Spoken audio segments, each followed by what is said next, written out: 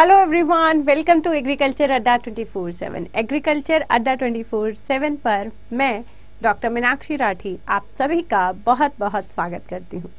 तो आज के हमारे इस सेशन में हम करेंगे सेरिकल्चर से रिलेटेड एमसीक्यूज सेरिकल्चर आपके एंटेमोलॉजी का ही पार्ट है, जहाँ हम हार्मफुल इंसेक्ट्स के बारे में पढ़ते हैं कि कौन से क्रॉप में कौन से इंसेक्ट्स आते हैं, क्या डैमेज करा रहे हैं।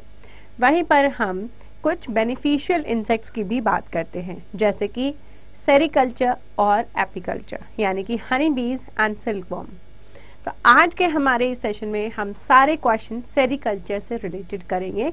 तो चलिए, आइए शुरू करते हैं अपना ये सेशन सेशन से शुरू करने से पहले, आपने अभी तक अड्डा 24/7 की एप्लीकेशन यदि डाउनलोड नहीं की है तो ये एप्लीकेशन आप प्ले स्टोर से डाउनलोड कर सकते हैं। उसके लिए आपको करना क्या होगा? प्ले स्टोर में जाकर टाइप कीजिए A double D A two four seven, application download कीजिए, लॉगिन कीजिए और एग्रीकल्चर सेक्शन को चुनिए। एग्रीकल्चर सेक्शन में आपको इससे related job alerts, subject wise quiz और पावर कैप्सूल मिलते हैं, जो आपकी एग्ज़ाम प्रिपरेशन को बूस्ट करते हैं, आपकी स्पीड, आपकी एक्यूरेसी को एनहांस करते हैं। साथ ही साथ, अगर आप पहली बार agriculture Adda twenty four seven पर आ रहे हैं तो agriculture Adda twenty four seven को सब्सक्राइब ज़रूर करें और बेल आइकन ज़रूर दबाएँ। जी Disha very very good evening good evening Ajay, Vivek and Vishu. नहीं तो विशु बुरा मान जाएगी, है ना? चलिए, Vishu, Shakeel, Dharmendra very very good evening and welcome to the session है ना? आपका सेशन में बहुत बहुत स्वागत है। तो ये है आपका एग्रीकल्चर महापैक। अगर आप एग्रीकल्चर से रिलेटेड मल्टीपल एग्ज़ाम्स देते रहते हैं जैसे कि अभी आपका एमएससी फाउंडेशन बैच शुरू हुआ है नाबार्ड फाउंडेशन बैच शुरू हुआ है आईबीबीएस एएफओ फाउंडेशन बैच शुरू हुआ है। तो आज मैंने इतनी क्लासेस ले ली हैं कि basically my throat is like हम नहीं बोलेंगे अब। ठीक है? तो एग्रीकल्चर महापैक उन सब के लिए है जो मल्टीपल एग्रीकल्चरल एग्ज़ाम देते हैं राइट सो so, इसकी जो फ़ीस है वो आप पहले पे कर रहे थे एक साल के लिए seven thousand three hundred fifty nine but आज eighty percent of interval validity है जिस पर आपको दो साल की फ़ीस सिर्फ़ छह हज़ार तीन सौ निन्यानवे है। जहाँ पर आपको ये सारी लाइव क्लासेस के साथ साथ इनकी test series and e books भी मिलती है। तो it's just like a subscription जैसे आप नेटफ्लिक्स का सब्सक्रिप्शन लेते हैं अमेजन प्राइम का सब्सक्रिप्शन लेते हैं उसके बाद आपको बहुत सारी फैसिलिटीज़ मिलती हैं। ये बिल्कुल वैसा ही है। चलिए। जी शकील बिल्कुल सही। तो इतनी अच्छी हिंदी वैसे काफ़ी कम लोगों की होती है है ना? मीन आक्षी मीन का मतलब होता है मछली और आक्षी का मतलब होता है आँख। ठीक है? बट uh, मेरे नाम के पीछे एक हिस्ट्री है। तो माई मोम वॉज़ इन्फ्लुएंस्ड विद गांधी परिवार एट दैट टाइम तो मेरी माँ मेरा नाम प्रियंका गांधी रखना चाह रही थी। मतलब गांधी नहीं रखना चाह रही थी गांधी में हूँ नहीं प्रियंका रखना चाह रही थी। But there is a heroine जिनका नाम मीनाक्षी शेषाद्री है जो उस वाली मूवी में आती है ना तारीख पे तारीख तारीख पे तारीख उसमें जो हीरोइन है उसका नाम है Meenakshi Seshadri and she was the favourite heroine of my चाचू। तो मेरे चाचू ने मेरा नाम रखा था मीनाक्षी ठीक है? तो आ, फिर मेरा नाम मीनाक्षी हो गया है। दैट्स इट ठीक है, चलिए तो कहानी हुई पूरी। अब करते क्वेश्चंस की practice right so pickup the correct statement आप इनमें से सही स्टेटमेंट को चुनिए। Larva form of mouth moth not mouth sorry larvae form of moth produces silk salivary glands of moth produces silk. Boiling and silk is extracted from cocoon by a moth और both A and B. इनमें से कौन सी सही statement है? Which one of them is a correct statement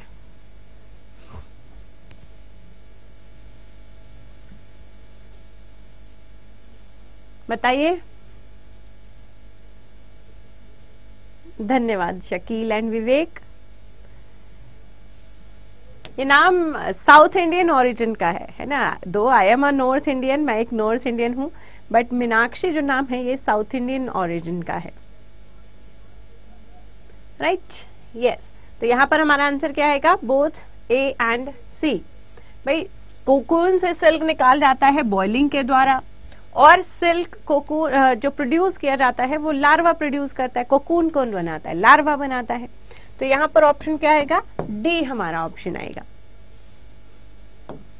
चलिए next question the silk worm larvae ceases to eat and begins to spin silk worm over its body जो silk worm है, देखो silk worm से related ना कुछ ही question हैं, जो famous हैं, हर जगह पूछे भी जाते हैं। और एक ही क्लास में आपके पास एक आधा ऐसा क्वेश्चन आएगा ही आएगा कि जो आपसे एग्ज़ाम में पूछा जाएगा। चाहे I B P S F लगा लो इसको लगा लो और मुझे पूरी उम्मीद एफसीआई से भी है कि एक आधा क्वेश्चन सिल्क वॉर्म का ज़रूर आएगा, ठीक है? और आज की क्लास से आएगा तो अच्छे से पढ़िएगा, ठीक है? The silk worm larvae ceases to eat and begins to spin आपका जो ये सिल्क वॉर्म नाम है, ये सिल्क वॉर्म नाम नहीं है, नाम के ऊपर इतनी चर्चा हो रही है, मेरे अंदर नाम चल गया है ना? जो सिल्क वॉर्म है, ये कोकून बनाने से पहले खाना पीना छोड़ देता है। सीजेस टू ईट खाना पीना पूरा छोड़ देता है। ठीक है? तो ये जो है, और कोकून स्पिन करने लगता है। उस कोकून की जो डायरेक्शन होती है स्पिन करने की, वो होती है आउटसाइड टू इनसाइड है ना? तो जो रेगुलर हमारे स्टूडेंट हैं, वो तो इन सारे क्वेश्चंस को रिपीटेड मोड पर देख ही चुके हैं right so the answer is outside to inside बाहर से अंदर की तरफ़ इस डायरेक्शन में जो है कोकून बनाना शुरू करता है। Species produces silk of both superior quality ऐसी कौन सी सिल्क स्पीशी है सिल्क वॉर्म है, जो सुपीरियर क्वालिटी का सिल्क बनाता है? Attacus atlas Bombyx mori Attacus ricini antheraea assamensis क्या होगा answer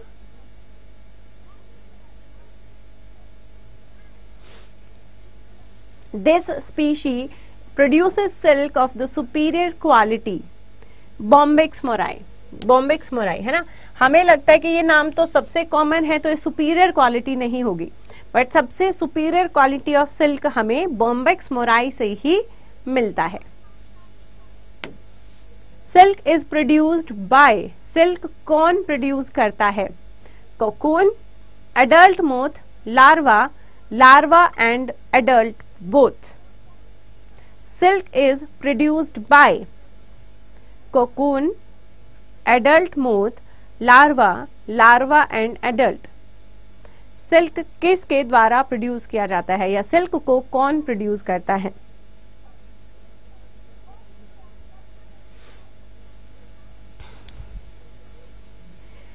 दिशु क्या कर रही हैं या क्या कर रहे हैं आप अभी दिशा सॉरी दिशु नहीं है हाँ तो आप कर रही ही हैं फिर ठीक है?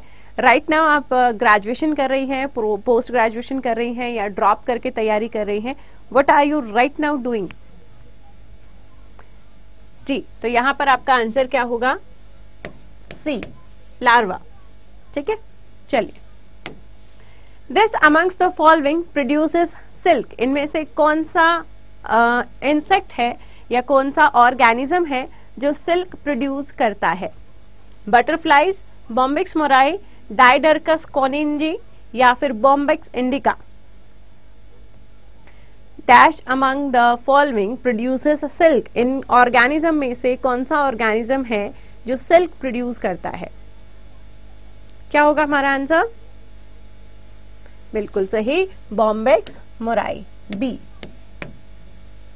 चलिए next insects not found in wild state ऐसे इंसेक्ट्स जो वाइल्ड स्टेट में कभी देखने को नहीं मिलते हैं।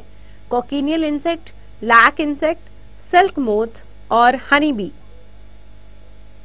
insect not found in wild state ऐसे कौन से इंसेक्ट हैं जो वाइल्ड स्टेट में नहीं मिलते हैं? Answer will be C silk moth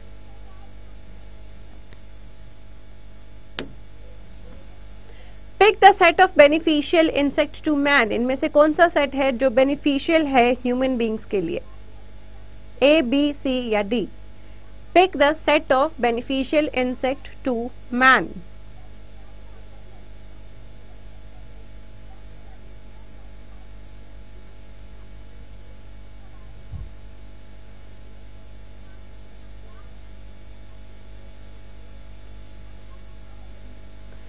sandy fly honey bee butterfly क्या होने वाला है? तो यहाँ पर हमारा आंसर होगा डी क्योंकि यहाँ पर वास्प आ जाता है, यहाँ पर कॉकरोच आ जाता है, यहाँ पर सैंड फ्लाई आ जाता है। ये तीनों हमारे काम की नहीं है, लेकिन honey bee cochineal insect and lac insect तीनों हमारे काम के इंसेक्ट हैं। कोकिनियल इंसेक्ट को जो नहीं जानते, उन्हें बता दूँ कोकिनियल इंसेक्ट एक आपकी नेचुरल डाई बनाने के काम आता है, ठीक है? What is the life span of adult Bombyx mori adult Bombyx mori का लाइफ स्पैन कितने दिन का होता है? दो दिन, तीन से चार दिन, छह दिन और आठ दिन।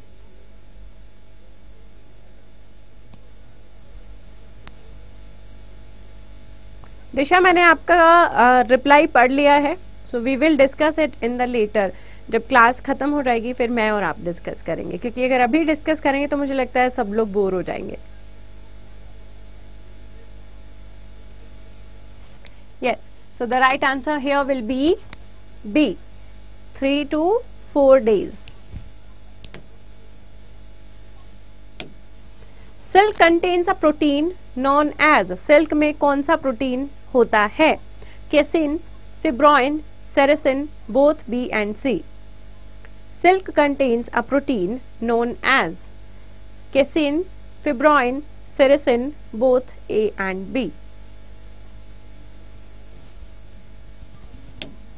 the answer will be D both A and B है ना? फिब्रॉइन भी होता है और सेरेसिन भी होता है। दोनों इसमें पाए जाते हैं। राइट? चलिए। What is the sericulture sericulture क्या होता है? तो सेरिकल्चर होता है रेयरिंग ऑफ़ सिल्कवॉर्म सिल्कवॉर्म के पालन पोषण को सेरिकल्चर कहते हैं।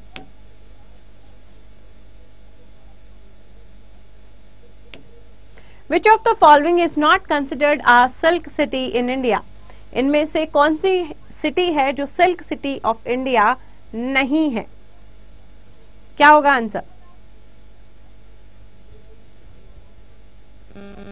which is not a silk city of India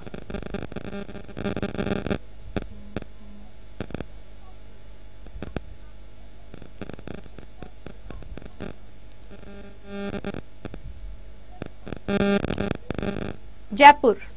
Answer क्या होगा? जयपुर। ठीक है? तो आपकी कांजीपुरम जो है, तमिलनाडु की सिल्क सिटी है, भागलपुर, बिहार की सिल्क सिटी है, और पोचमपल्ली आपकी केरला की सिल्क सिटी है। ठीक है? जयपुर राजस्थान में है, लेकिन ये सिल्क सिटी नहीं है। Which of the following is not the characteristic feature of tasar silk इनमें से कौन सा तसार सिल्क का एक कैरेस्टिक फीचर नहीं है? Kosa silk Bombyx mori also known as kosa silk obtain from Bombyx mori native of India and China larvae of silk feeds on oaks tasar silk के लिए कौन सी बात सही नहीं है? तो ऑप्शन आएगा हमारा डी ठीक है? डी ये किस पर फ़ीड करते हैं? ये सोम प्लांट पर फ़ीड करते हैं। एक मिनट भाई। Not true sorry Bombyx mori I am sorry मैंने देखा नहीं था। बॉम्बेक्स मोराई सोम प्लांट नहीं आएगा। ठीक है? Bombyx mori B sorry sorry B is the right answer ठीक है? Which of the following silk is mainly produced in Assam इनमें से कौन सा सिल्क है जो आसाम प्रोड्यूस करता है? और कोई कंट्री कोई स्टेट प्रोड्यूस नहीं करता है। Which of the following silk is mainly produced by Assam तो आंसर यहाँ पर क्या होगा? मूगा सिल्क मूगा सिल्क सिर्फ़ और सिर्फ़ आसाम में प्रोड्यूस किया जाता है। तो ये आपका जो है, क्या होगा आंसर सी होगा।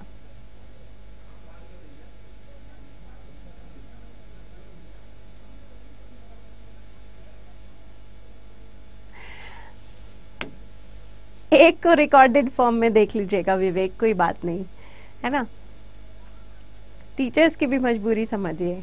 हमें यूट्यूब्स लेनी होती हैं, फिर पेड लेनी होती है and of course being a girl हम नौ बजे तक अपने घर भी पहुँचना चाहेंगे। तो इसलिए कई जगह टाइम प्रॉब्लम हो जाती है, क्योंकि दिन इतना ही है और काम थोड़ा सा ज़्यादा है है ना? Which of the following is not a characteristic feature of eri silk इनमें से कौन सा एरी सिल्क का कैरेस्टिक सिम्टम नहीं है? ऑल्सो नोन एज अरंडी सिल्क बिहार बंगाल एंड आसाम में ये प्रोड्यूस किया जाता है। सॉफ्ट और वाइट कोकून इसके बनते हैं, या फिर ये ओक लीव्स पर फ़ीड करता है। एरी सिल्क को अरंडी सिल्क कहते हैं। अरंडी हम हिंदी में कैस्टर को कहते हैं। तो ये कैस्टर लीव्स पर फ़ीड करता है, ओक्स लीव पर फ़ीड नहीं करता है। ठीक है? तो डी जो है, हमारा राइट right आंसर होगा।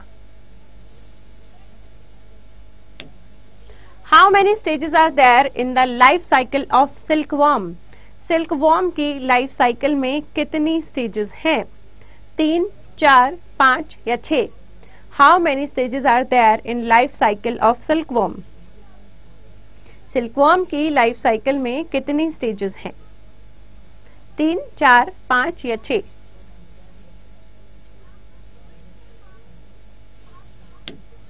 आंसर इज़ चार ही होंगी, है ना? एग लार्वा एडल्ट प्यूपा चार स्टेज ठीक है? मतलब प्यूपा पहले आएगा एडल्ट बाद में आएगा। Which of the following state is not a mulberry silk manufacturing in India इनमें से कौन सा स्टेट है जो मलबरी सिल्क मैन्युफैक्चरर नहीं है? Assam, Karnataka, Andhra Pradesh, Tamil Nadu. Which of the following state is not a mulberry silk manufacturer in India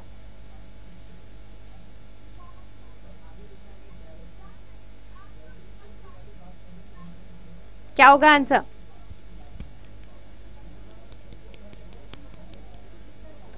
yes the answer will be Assam भाई। Karnataka, Andhra Pradesh, Tamil Nadu. South में आपको मलबेरी सिल्क खूब मिलता है भर भर के। आसाम में आपको मूगा सिल्क मिलता है। ठीक है? तो यहाँ पर आंसर क्या होगा? Assam which is the young age silk worm इनमें से कौन सा एक यंग एज सिल्क वॉर्म है? प्यूपा एडल्ट स्पिनिंग वॉर्म और चौकी। यंग एज सिल्क वॉर्म देखिए, आपके जो सिल्क वॉर्म है, जैसे वो एग यानी कि एग जब हैच होता है, उससे बाहर निकलते हैं लार्वल स्टेज होती है, इसमें होती है मोल्टिंग मोल्टिंग में होती है इसकी चार बार मोल्टिंग होती है, यानी कि पाँच इंस्टार टोटल बनते हैं। तो जो फ़र्स्ट सेकेंड और थर्ड इंस्टार हैं, वो आपके यंग एज रेयरिंग में आते हैं, और जो फिफ्थ एंड फोर्थ इंस्टार है ये आपकी ओल्ड एज रियरिंग में आते हैं। ठीक है ये आपकी ओल्ड एज रियरिंग में आते हैं। जो यंग एज रियरिंग है उन्हें चौकी रियरिंग भी कहा जाता है। तो ऑप्शन यहाँ पर क्या आएगा? D chawki rearing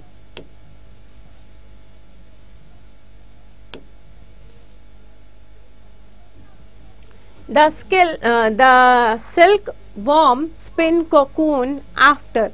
Silk worm कब कोकून स्पिन करता है? फोर्थ मोल्ट पर थर्ड मोल्ट पर इधर ए और बी और सेकंड मोल्ट पर। यह स्पिनिंग कब शुरू करता है? जैसा कि मैंने अभी भी बताया, इसका जो लार्वे है, वो चार मोल्टिंग के तहत गुजरता है। यानी कि आखिरी मोल्टिंग कब होगी? फोर्थ मोल्टिंग होगी।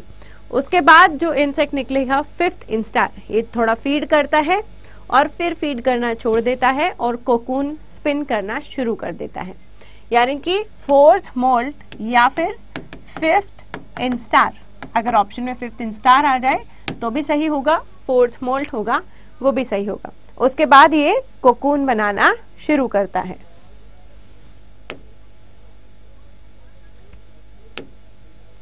The distribution pattern of saliva by the silkworm is silkworm के द्वारा डिस्ट्रीब्यूशन पैटर्न बनाया जाए तो वो कैसा होता है? Z की फॉर्म में होता है, S की फॉर्म में होता है, H की फॉर्म में होता है, या थ्री की फॉर्म में होता है? The distribution pattern of saliva by the silkworm is cocoon बनाता है तो जो डिस्ट्रीब्यूशन पैटर्न है सिल्कवॉर्म का, वो कैसा होगा? वो एट की शेप में बनाता है ना? जैसे हम ऊन का गोला बनाते हैं। अभी सर्दियों में मम्मी ने कभी स्वेटर बनाई होंगी इस तरीके से उसको हम लपेटते हैं, बीच में वो एट की शेप बनती है है ना?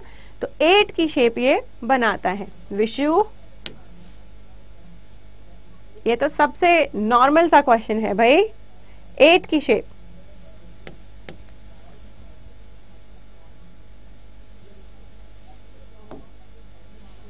pebrine is the dash disease of Bombyx mori Bombyx mori यानी कि सिल्क वॉर्म में एक डिज़ीज़ होती है जिसका नाम है पेब्रिन डिज़ीज़ ये पेब्रिन डिज़ीज़ किसके कारण होती है? वायरस के कारण होती है बैक्टीरिया के कारण होती है फंगस के कारण होती है या फिर प्रोटोजोआ के कारण होती है. Pebrine is the dash disease of Bombyx mori viral bacterial, fungal protozoa the answer is D. Protozoa. It's a protozoan disease. ठीक है तो आंसर यहाँ पर क्या आएगा डी हमारा राइट right आंसर होगा उसी तरीके से जैसे यहाँ पर पेब्रिन डिज़ीज़ होती है, आपकी हनी बी में नोसेमिया डिज़ीज़ भी होती है that is also due to protozoa major pest of silkworm silkworm का मेजर पेस्ट कौन सा है वास्प ओजिफ्लाई नाइलोसिलिक्स सॉरी नाइसोलिनिक्स या फिर all of the above major pest of silkworm जल्दी से बताएँ मेजर पेस्ट ऑफ़ सिल्कवॉर्म क्या होगा? अरे अरे अरे। विशु ही बताएगी सबसे पहले, है ना? Is all uzi fly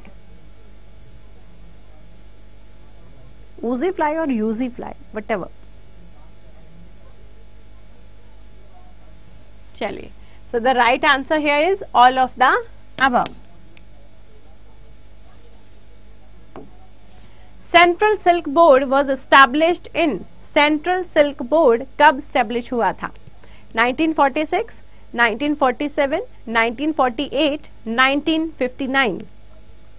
Central Silk Board was established in 1946, 1947, 1948, 1959. Central silk board कब स्टैब्लिश हुआ था सी 1948 आज़ादी के तुरंत बाद ठीक है 1948 में जो है, सिल्क बोर्ड बना था।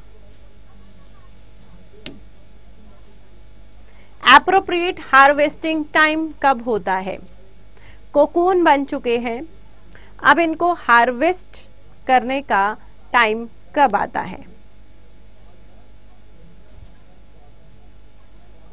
एप्रोप्रिएट विवेक, मैंने तो न फोर्टी एट ही पढ़ा है बच्चा। appropriate harvesting time.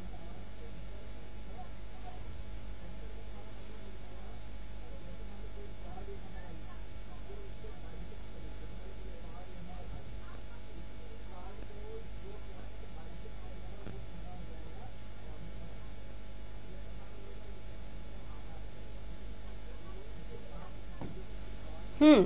So it will be the sixth day of the formation. जब आपका कोकून बन जाता है, पूरा बन के तैयार हो जाता है, उसके छठे दिन। छठे दिन आप इसको हार्वेस्ट कर लेते हैं सिक्स डे ठीक है?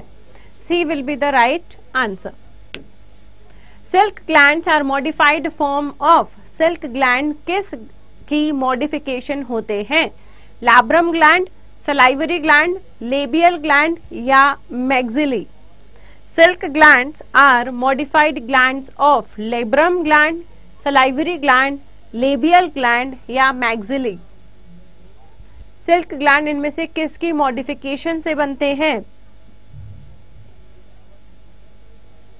Very good the answer is C labial gland labial gland की मॉडिफिकेशन से सिल्क ग्लैंड्स बनते हैं. A pair of dash open inside the silk gland at the joint anterior division of two gland आपके salivary gland के साथ दो और छोटे छोटे ग्लैंड अटैच होते हैं। उनका क्या नाम होता है? A pair of dash open inside the cell gland at the joint anterior division of the two glands the answer will be Filippi's gland ये आपके सिल्क ग्लैंड इस तरीके से होते हैं, है ना? और फिर इस तरीके से इसमें लंबी लंबी ट्यूब्स होती है और यहाँ पर छोटे छोटे दो और ग्लैंड होते हैं, जिन्हें फिलिपाइज ग्लैंड कहते हैं। So A will be the right answer after cocoon formation shrinking larva packs itself जब कोकून फॉर्म हो चुका है, अब लार्वा श्रिंक हो जाता है और प्यूपिल स्टेज में चला जाता है। तो ये जो अपने आप को श्रिंक करता है, एक पर्टिकुलर लेयर में अपने आप को पैक कर लेता है उस लेयर का नाम क्या है? Pellet layer gossamer layer both और none after cocoon formation shrinking larvae packs itself in which layer the answer will be yes both pellet layer को ही गोसामर लेयर कहते हैं, एक ही लेयर का नाम है तो यहाँ पर आंसर आ जाता है both pupa is also known as pupa और किस नाम से जाना जाता है? कीगो आंट्स क्राइसेलिस बीड्स प्यूपा और किस नाम से जाना जाता है? कीगो आंट्स क्राइसेलिस बीड तो प्यूपा आप किस नाम से जानते हैं? सी क्राइसेलिस सी क्राइसेलिस के नाम से जानते हैं, है ना? और कीगो जो है आपके लार्वल स्टेज को कहते हैं। क्योंकि ये ब्लैक कलर के छोटे छोटे लार्वे होते हैं, हेयर इनकी बॉडी के ऊपर प्रेजेंट होते हैं तो इनको आंट या कीगो भी कह देते हैं। ठीक है? क्राइसेलिस प्यूपा का दूसरा नाम है। Bacterial disease are called as जो भी आपके सिल्कवॉर्म में जितनी भी बैक्टीरियल डिज़ीज़ होती है, उनको कलेक्टिवली एक टर्म दी जाती है। वो टर्म क्या है?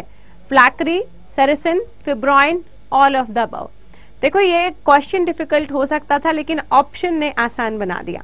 ठीक है? Bacterial diseases are called as flacherie क्योंकि सेरेसिन फिब्रॉइन तो हमें पता है, सिल्क के प्रोटीन्स होते हैं।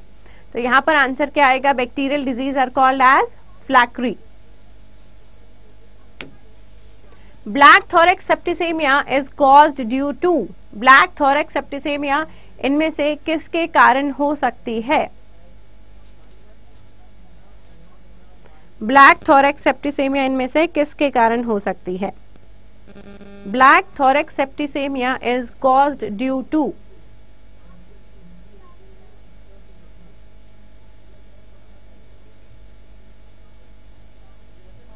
जल्दी से बताइए। बैसिलस है ना? बिल्कुल bacillus is the right answer A will be the right answer bacillus ठीक है? बेसिलस के कारण होती है ब्लैक सेप्टिसेमिया रेड सेप्टिसेमिया किसके कारण होती है? आई गेस आगे क्वेश्चन हाँ आगे क्वेश्चन है। रेड सेप्टिसेमिया किसके कारण होती है? तो रेड सेप्टिसेमिया आपकी सिरेर एरिया के कारण होती है। ठीक है? सिरेर area which is a type of streptococci only ठीक है? Which is the most economical rearing सबसे ज़्यादा इकोनॉमिकल रेयरिंग किसे माना जाता है? Shoot rearing floor rearing shelf rearing या cooperative rearing what is the most economical rearing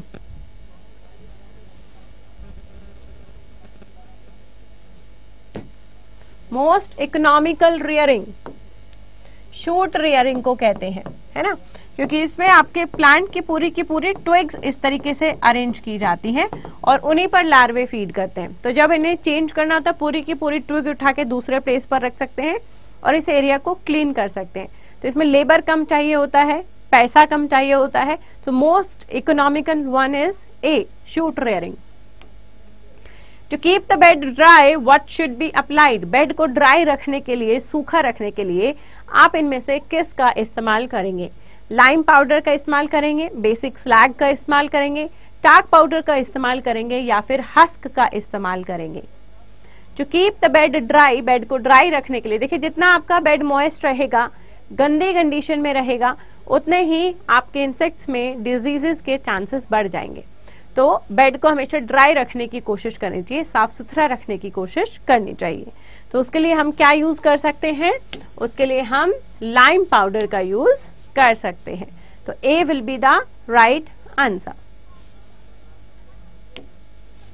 time taken from hatching to spinning hatching से स्पिनिंग तक लार्वे को आ, आ, कितना टाइम लगता है? मतलब जहाँ जब से ये एग से हैच हुआ होता है और जब से ये मॉल्ट करता है और स्पिनिंग स्टार्ट करता है हैचिंग टू स्पिनिंग इसको कितना टाइम लग जाता है? Thirty days ten days twenty six days thirty five days hatching से स्पिनिंग तक का टाइम पीरियड कितना होता है? छब्बीस दिन स्पेशल छब्बीस, है ना? मूवी है ना एक स्पेशल छब्बीस. तो इसको छब्बीस दिन लगते हैं हैचिंग से स्पिनिंग तक पहुँचने में. And that's the class is over ठीक है? तो ये आपके F C I A G three technical का बैच है। आप चाहें तो एनरोल कर सकते हैं Y four four eight A code का यूज़ करके। साथ ही साथ यहाँ पर आपकी टेस्ट सीरीज़ है। अगर ऑफकोर्स आपकी तैयारी अभी तक हो जानी चाहिए एंड हो गई होगी तो आप इस टेस्ट सीरीज़ को प्रैक्टिस कर सकते हैं which is for F C I A G three technical phase two इसमें आपका टू फोर्टी एट रुपीज़ में सेवेंटी फाइव से ज़्यादा टोटल टेस्ट है, जिनको आप प्रैक्टिस कर सकते हैं। राइट और that's it do like and share the session कैसे इस टेस्ट सीरीज़ में या फिर इस बैच में एनरोल करना है? साथ ही साथ आपके एग्रीकल्चर महापैक पर है double validity and 80 percent off तो अगर आप एग्रीकल्चर से रिलेटेड एग्ज़ाम्स देते रहते हैं तो एग्रीकल्चर महापैक में भी एनरोल कर सकते हैं। तरीका सेम है। यहाँ ऑल कोर्सेज में जाएँगे एग्रीकल्चर चूज़ करेंगे एग्रीकल्चर चूज़ करके यहाँ पर आप जो है एग्रीकल्चर महापैक चूज़ सकते हैं, या फिर यहाँ पर नीचे FCI चूज़ करके आप एफ़ सी को चुन सकते हैं। ये आपका बैच है और ये आपकी टेस्ट सीरीज़ है सारी की सारी, ठीक है? तो टेस्ट सीरीज़ अगर हमें लेनी है तो हमें टेस्ट सीरीज़ पर क्लिक करना होगा। यहाँ पर बाय नाउ बटन दबाना है, ये नई विंडो आएगी। इस नई विंडो में टाइप कीजिए Y four four eight A और सॉरी एस देखो, मैं ही भूल गई हूँ। टेस्ट सीरीज़ में एस लगाते हैं। Y four four eight S ठीक है? जैसे ही एस लगाया यू विल गेट योर जो भी आपका ऑफ़ उस टाइम पर चल रहा होगा, वो आपको मिल जाएगा and you can practice the test जी, बिल्कुल, शकील अभी करवाते हैं, ठीक है? और अगर आपको एग्रीकल्चर महापैक में एनरोल करना है तो आप एग्रीकल्चर महापैक को चूज़ कर सकते हैं, क्योंकि इस पर अभी डबल वैलिडिटी है एंड 80 परसेंट ऑफ़ है। यहाँ से आप टाइम पीरियड चूज़ कर सकते हैं 12 प्लस ट्वेल्व मंथ्स यानी कि दो साल के लिए 6 प्लस सिक्स मंथ्स यानी कि एक साल के लिए। ठीक है? और यहाँ पर बाय नाउ पर क्लिक करेंगे, ये विंडो आएगी। इसमें टाइप करेंगे Y four four eight A और अप्लाई कर देंगे। जैसे Y four four eight A apply किया you will get 80 percent discount on your fees छह हज़ार तीन सौ निन्यानवे में दो साल के लिए आपको ये सारी क्लासेस मिलती हैं जो भी एग्रीकल्चर अड्डा जिस भी एग्ज़ाम को कवर कर रहा है। ना सिर्फ़ लाइव क्लासेस इनकी टेस्ट सीरीज़ भी मिल रही है। यस yes, हाँ विवेक ये मेरे दिमाग में ऑलरेडी है है ना कि ये प्लेलिस्ट बनवानी है ताकि वो क्लासेस एक जगह मिल जाए क्योंकि मुझे भी नहीं मिलती हैं कभी कभी कि मैं अगर मैं सर्च करती हूँ कोई कमेंट आया है कोई क्वेरी आई है तो मुझे भी देखने में दिक्कत होती है। सो so, ज़रूर आपकी जो है प्लेलिस्ट तैयार करवा दी जाएगी don't worry and Disha are you there right now Disha हो? चलिए तो आप सभी के लिए अलविदा हो चुकी है and if Disha is present तो वी कैन टॉक नहीं तो फिर हम भी चलते हैं है ना? अब हम अड्डे अड्डा की बर्थडे पार्टी में जा रहे हैं। मैं कह रही थी अड्डे की बर्थडे पार्टी में जा रहे हैं। ठीक है? तो अब हम अड्डा की बर्थडे पार्टी में जा रहे हैं। तो आप लोग भी एंजॉय कीजिएगा अपना dinner after some time right